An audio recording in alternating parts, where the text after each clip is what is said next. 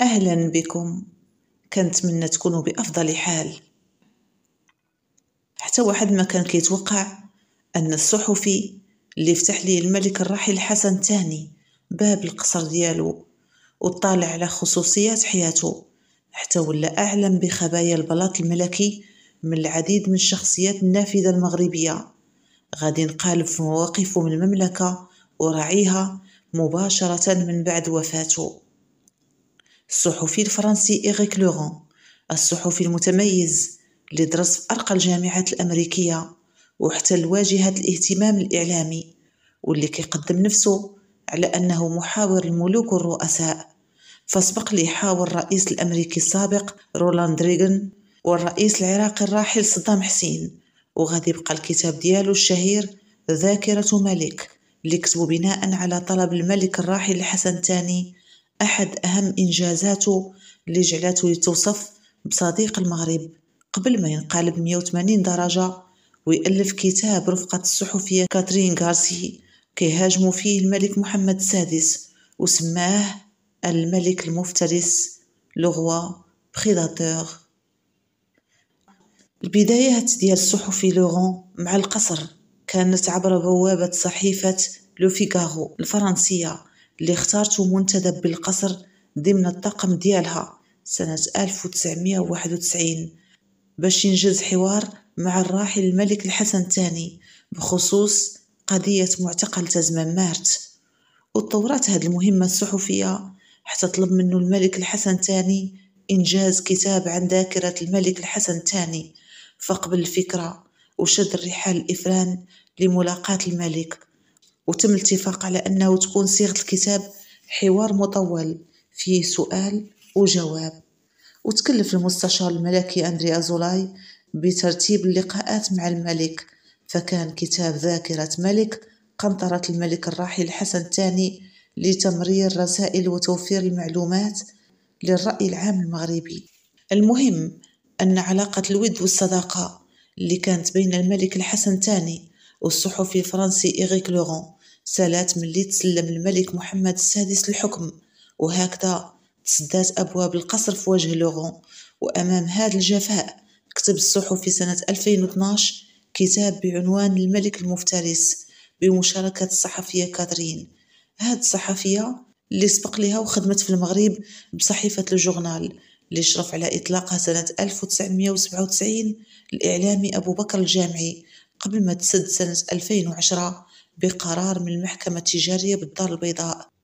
وكاترين غراسي حتى هي ألفت عدة كتب من بينها كتاب حاكمة قرطاج اللي دوات فيه على زوجة الرئيس التونسي السابق زين العابدين بن علي وكتاب ساركوزي والقذافي التاريخ السري للخيانة وكتاب عندما سيصبح المغرب إسلاميا. وهكذا تلقوا بجوج وكتبوا هذا الكتاب لكي يتحدثوا فيه على سيطرة الملك محمد السادس على الاقتصاد المغربي. وهو الكتاب اللي وجه فيه لورون انتقادات لاذعة للنظام الحاكم في لحظة حساسة اللي هي الربيع العربي. وهذا الشيء طرح السؤال العريض اللي هو أشنو هي الغاية من نشر لورون الكتاب ديالو في تلك الظرفية الحساسة في المنطقة العربية كاملة؟ المهم أن البداية هذا الابتزاز كانت في واحد النهار اللي هو واحد وعشرين يوليوز من سنة ألفين وخمسطاش. غادي يتصل الصحفي لورون بالديوان الملكي وغيقول لهم بأنه بصدد الإعداد لنشر كتاب جديد على الملك محمد السادس وطلب مبلغ ديال 30 مليون درهم أي ثلاثة الملايين أورو مقابل عدم نشره للكتاب. وبالفعل غادي صيفط ليه المغرب مستشاره باش يتفاوض معاه في العاصمة الفرنسية باريس. نهار 11 غشت من نفس السنة. ونهار الخميس 27 غشت غادي توقف السلطات الفرنسية باريس الصحفيان بتهمة التورط في ابتزاز الملك محمد السادس. وهما في حالة تلبس بحيث تم تسجيلهم. وهما كيتسلموا مبالغ المالية. ووقعوا على عقد التخلي عن نشر الكتاب خلال لقائهم مع مستشار القصر الملكي تحت مراقبة الشرطة والنيابة العامة لباريس اللي فتح التحقيق في هذا الشأن. المغرب قدم شكاية ضد الصحفيين ووكل محامي فرنسي باش يترافع لصالحه في هذه القضية اللي عندها تأثيرات جيوسياسية خطيرة. فهل هو الجشع اللي خلاهم يبتزوا ملك المغرب أم تم توظيف هاد الصحفيين من قبل شي جماعة؟ هذا هو التساؤل اللي خرج به محامي المغرب الفرنسي للإعلام من بعد توقيف الصحفيين. وبالفعل ساعات من بعد اعتقال الصحفي إيغيك لورون اعترف خلال فترة الحراسة النظرية بأنه خدا أموال من المغرب مقابل عدم إصدار كتاب حول المملكة ولكن كانت بمثابة تقديم عرض عليه من القصر مقابل تخليه عن نشر هذا الكتاب وهو ماشي ابتز الملك المغرب وإنما قبل بأموال القصر القادمة من المملكة الشريفة بعد ما تعرضت عليه.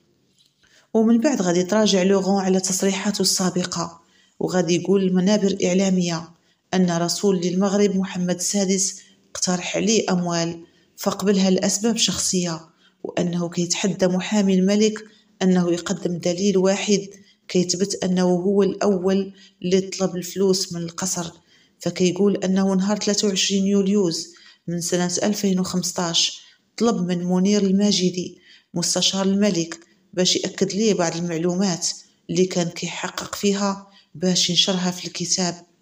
لكن عوض أنه يقدم ليه المعلومات اللي طلب تلقى مكالمة من القصر الملكي من شخص سميتو هشام الناصري كيقول ليه باش يتسناه حتى يرجع من اليابان وهو اللي غادي يقدم ليه المعلومات اللي بغا بنفسه. وفعلا نهار 11 غشت تلاقى مع المستشار الملكي في أوتيل في باريس واقترح عليه يعطيه ثلاثة ديال الملايين أورو مقابل وقف إصدار هذا الكتاب ويكشف ليه المصادر اللي مكنته من كل هذه المعلومات. وكيقول لوغون بأنه رفض طبعا أنه يكشف المصادر ديالو المنير الماجدي ولكن قبل أنه يدخل في هذه الصفقة لأن الكتاب فيه معلومات خطيرة ممكن تزعزع العرش الملكي. وكيقول لوغون أنه كيبقى إنسان والإنسان كيضعاف قدام المادة. وأنهم وقعوا في فخ ومكيدة. نصبها لهم القصر الملكي باش يمسوا كرامته وبالسمعة المهنية ديالو. وكيقول الصحفي أنه حس بالخوف من اللي طلع في سيارة الشرطة وشعر أنه في نفس الوضع ديال المعارض المغربي بن بركة اللي تختطف في باريس وما بانش ليه آثار وخاف حتى هو يرسلوه في طيارة نيشان للمغرب وفي سنة 2017 قضات محكمة النقض الفرنسية بإثبات صحة تسجيلات اللي كتدين الصحفيان الفرنسيان إيريك لوغو وكاترين غراسي ولكن طلق سراحهم بعد ما دفعوا كفالة مالية وتمنع عليهم الاتصال بعضياتهم أو ربط صلات مع أي جهة لها علاقة بملف الكتاب.